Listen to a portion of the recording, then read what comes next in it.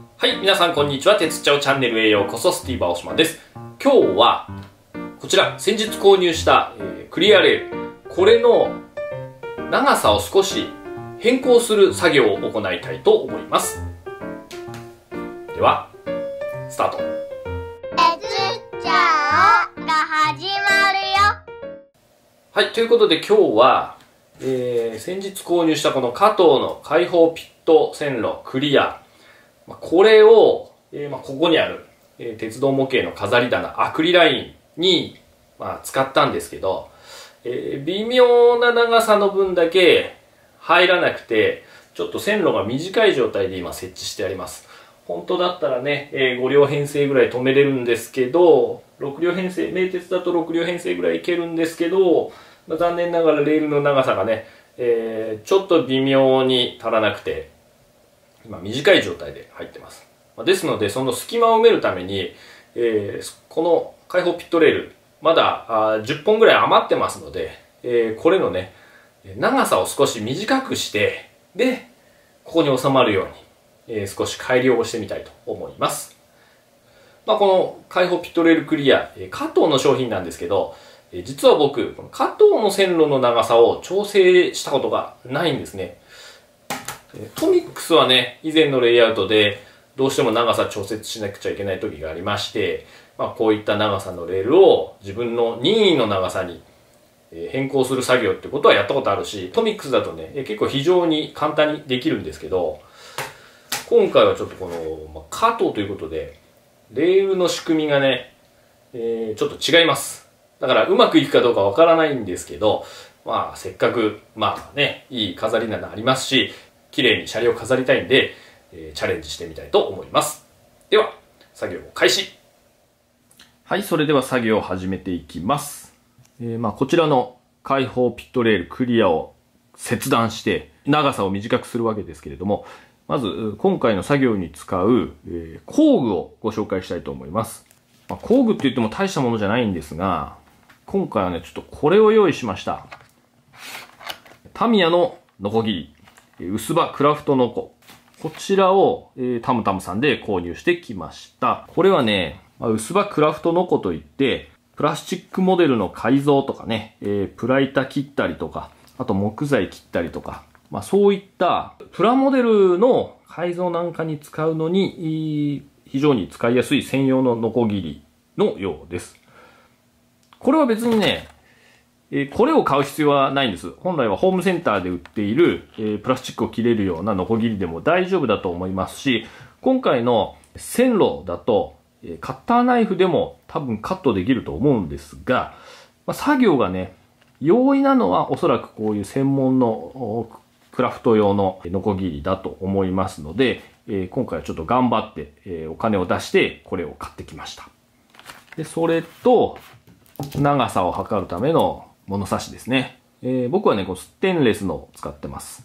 これも鉄道模型を始めてた時に、東京にいる時にホームセンターで購入したので、もう20年以上使っているものですけど、えー傷がつきにくいのでね、えー金物、金属のものを使ってます。それから、ラジオペンチと、えーニッパー、それから、ちょっとこう、ちっちゃめのマイナスドライバー。それと、もし、えーカットした後のね、細かい部品取っとくんであれば、こういったような、あの、100円ショップで売っている、チャックのついた袋、こういうのを用意されると便利だと思います。では、もういい、作業をね、一気に始めていきたいと思うんですけど、これをね、まあ、簡単に言いますと、両端は残したいんですよ。作業的にはね。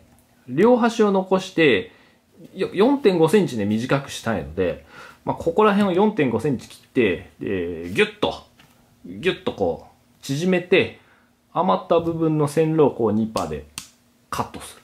まあ、みたいな作業をしたいんです。で、それが、トミックスのレールだと、え簡単にできるんですよ。えートミックスのレールってのはこれ280の直線レールですけど、えっ、とね、一箇所、プラスチックと線路が、えー止まっている場所がね、一箇所あって、えーこれで言うとここ。ここなんですね。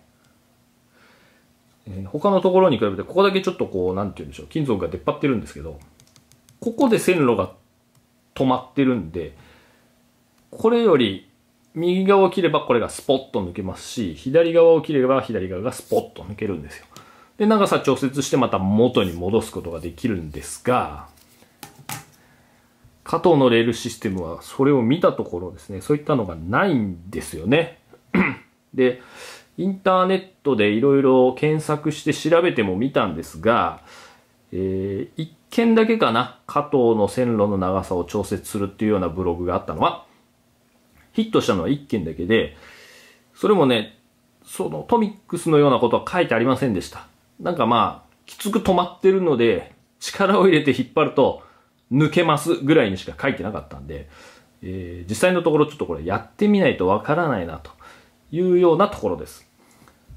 で、最初はね、えーこうクリアってまあちょっと貴重なんで、10本単位でしか売ってませんし、えっ、と、まあ普通の2本入りかな ?4 本入りかな？まあ加藤の普通の開放ピット線路買ってきて、で、改造しようかなと。一回練習しようかなと思ったんですけど、それを使って。まあ、やめました。まあ、簡単に言うとお金がなかったんで、ちょっと買いすぎましたからね、今度。まあ、これをね、まあ、1本はひょっとしたら無駄になるかもしれませんけど、えーっとね、15本余るんですよ、15本。で、えー、10本、10本短くしたいので、5本はまあちょっと予備があると。サムネイル用に3、4本取っときたいんで、まあ失敗はまあ1本までかなというふうには思いますが、最悪5本まで失敗してもなんとかなりますので、えーぶっつけ本番、いきなりこの透明のレール、クリアレールでえーチャレンジしていきたいと思います。では、一応さっきもうすでに長さを測りました。で、このジョイナーっていうのかな？ジョイナーを含めた長さが4.5センチ。あと短くなるといいので、ここだ、ここ。この開放ピットレールですから、まあコンクリートですわね。バラストじゃなくて、枕木じゃなくて、コンクリートでこここう止まってるんだけど、この、ここの4.5だ、あれ？ここだね、ここ、ここ。空白で言うと、1、2、3個目。この真ん中辺でちょっとカットしたいので、ここを切っていきます。ちょっと本当は印をつけとくといいんだけど、えー鉛筆見つけたんでちょっと印をつけておきましょう。ここだな。ここでカットします。この線路のこっち側を切るかこっち側を切るか今すごく迷ってるんですが、まあ、特に何もないので、まあ今回はこっちを切ってきます。作業にあたってはですね、ちょっとこのジョイナーは外そうかなと思います。ちょっとこのクリアのジョイナーの形が他のレールと違ってたんで、他の加藤のレールとね、爪、爪みたいなのがここにでこう止まってるんですね。で、この爪を少しこう押してあげながら、外に引っ張ると外れます。で、このようにね、ちょっと今回は、こっちはそのまま残しときますが、えこっちは一回外しました。で、ここをカットしていくわけです。ノコギリ。これを早速ちょっと開封しますか。一応、替え刃がついてました。はい。ノコギリです。あんまりこう、手で触らない方がいいのかもしれませんがね。これが、ネジがついてて、おそらくこれを緩めることによって、さっきの替え刃を交換することができるんだと思います。では、カットしていきましょうか。まあ、本来だったら、えーこの間買ったあの、まっすぐに切るようなやつを当てがうと本当はいいんでしょうけど、いかんせん短いですから、線路の幅が。そこまで丁寧なことはちょっとやっとれませんので、これをね、一気にやっていきたいと、カットしていきたいと思います。で、ちょうど真ん中ら辺なんだけど、少し、少し残します。っていうのはあの、ザラザラになった面をヤスリがけしたいので、整えるのに。その分も考慮して、えー本来カットするところよりも、どうだろう、0.5ミリぐらい、えー甘らかして、えーカットすると、綺麗にいけると思います。では、いきますか。慎重に、慎重に、大胆かつ慎重にいきます。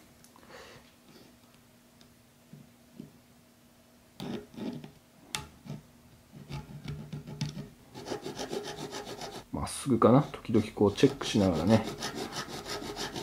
初めての作業ですから。まあこういうのはね、あの、車両を触るときもそうですけど、ほとんどの場合は、えー経験を積むことによって、えー苦手なものを克服することができます。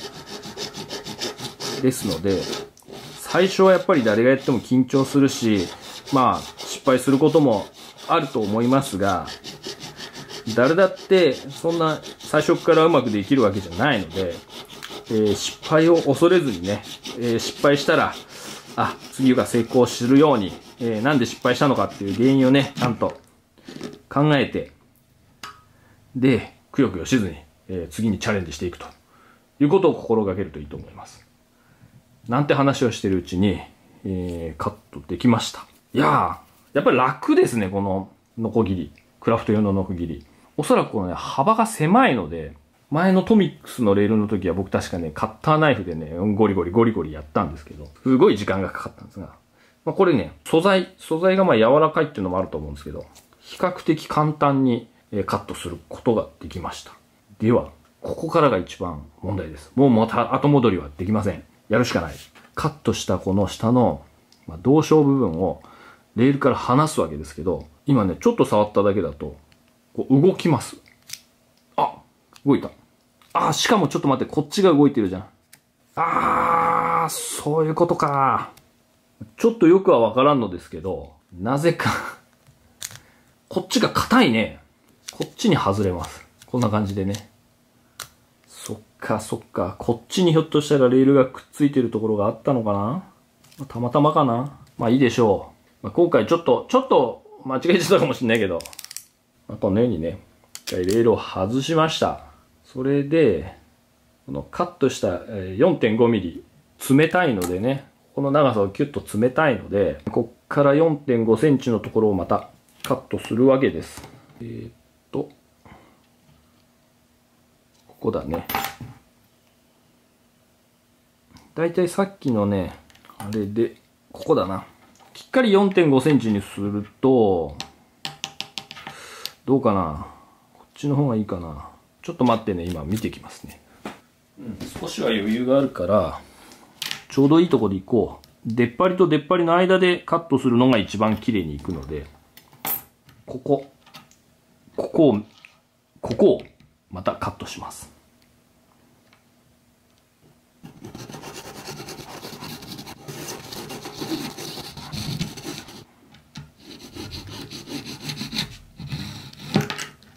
よし、OK。はい、カットできました。ちょっとジョイナー残っちゃってるんで、こっちのジョイナーを外して、はい、えー、真ん中のこの部分、余分な部分を抜きました。中抜きですね。で、これをまたこう元に戻して、で、ここの余分な部分のレールをニッパーでカットすると、えー長さがちょっと、えー約45ミリ短くなるレールが出来上がるはずです。で、カットした部分も僕ヤスリ書きした方がいいかと思ったんですけど、これノコギリのおかげだな。ほとんどいらねえな。一回ちょっとこのままレール元に戻してみます。ここら辺からはね、ひょっとするとね、僕のあれがね、無口になると思います。戻るかな。ちょっと一回最初だけ、ちょっとごめんなさい。一回止めます。えー、ここ、1個目をまずね、えー、こう、爪、爪がありますんで、爪に、えーかませるというか入れました。あとはこれ左右のレールを同じように、1個ずつ1個ずつ。え力入れすぎると壊れるといけないので、ま慎重にね。あ、でも3個ぐらい入ると、あとはもう、スルスルスルっと入ってきます。おおいいね、いいね。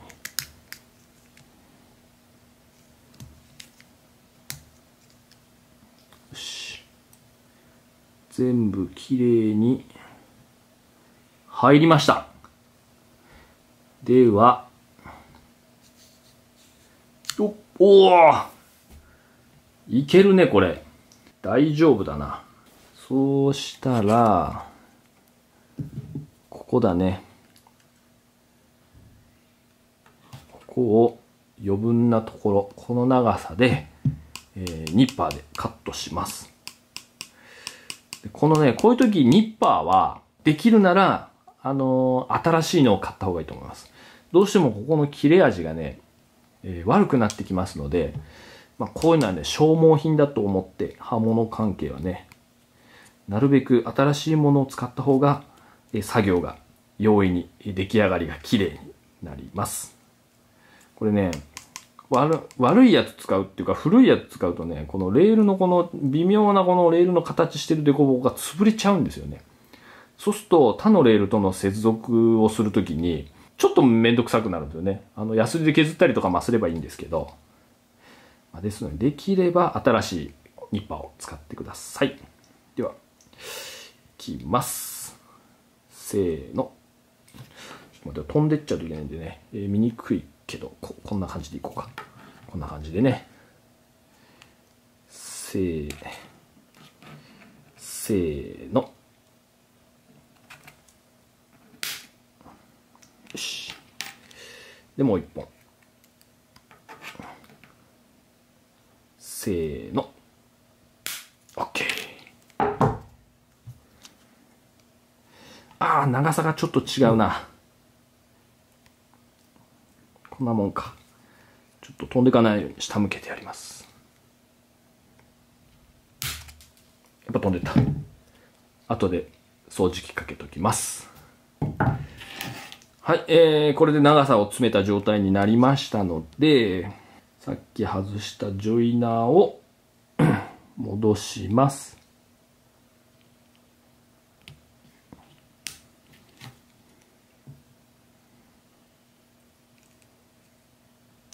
対側も。よし。このジョイナーをはめたことによってね、えーレールがカチッと固定されますので同床のプラスチックの、えー遊びが遊びというか動きがなくなりました。はい OK です。では、えーでは実際にアクリラインに、えー入れてみて、えー長さが合ってるかどうか、えー試してみたいと思います。はい。それでは今長さを調節した開放ピットレールを入れてみたいと思いますちょっと透明すぎて分かりにくいですが、えーここが端っこです。今ここ、あのー板外したんで、指入るようになってます。で、えーこっちが中に入っている開放ピットレールですね。今一番左までぴったりくっつけてます。この状態で、この短くした開放ピットレールを接続して、きた完璧じゃないですか、これ。わかり、わかりにくいか、わかりにくいな。これね、ちょっとこう、これ蓋してみましょうか、蓋。蓋。蓋。蓋もわかりにくいな。透明すぎてわからんのだけど、この、これを、閉めると、おほぼぴったり。完璧だ、これ。まあちなみにこれ下ですけどね。一番下のレールを左まで寄せると、ここまで開いてたんですね。ここがちょうど、この隙間が、14センチぐらいなわけですよ。14センチだと、186のレールを、まあ、あ4.6か。だから今日4センチ5ミリカットしたんですけど、カットすると、こう、ほぼ隙間がね、1センチないぐらい、ちょうど5ミリぐらいですね。になります。これね、ジョイナーを外せば、あと2センチはいけるんですけど、そこら辺はお好みですね。ジョイナー外して飾ってあるともうちょっと長くいけますが、まあ、そこまでレールキチキチにしなくても、そもそも台車そんな端っこまで行くことないので、もうこれでいけると思います。いやー、これ気持ちいいな。はい、えー、加藤の開放ピットレールの長さ、変更することに成功しました。はい、いかがでしたでしょうか？綺麗に収まりました。えこの、えアクリラインですね。開放ピット線路の長さを、え詰めることによって、ちょうど一つ分長さがね、90センチなんですけど、まあ、ほぼいっぱいいっぱいまで、えーレールを敷くことができました。加藤の線路の長さを詰めるっていうのは今日初めての経験でしたけど、まあ、まあ本当に1回で成功しましたんで、まあ、こんなのはね、やってみないとわからないということで、えー皆さんもね、失敗するかもしれませんが、えーこういったのをね、えーどんどんチャレンジしていっていただきたいというふうに思います。はい、ということで今日は先日購入した加藤の開放ピット線路をアクリラインに、えー、綺麗に並べるため、え長さを短く詰める作業の動画をお送りしました。最後までご覧いただきましてありがとうございました。次の動画でまたお会いしましょう。それでは。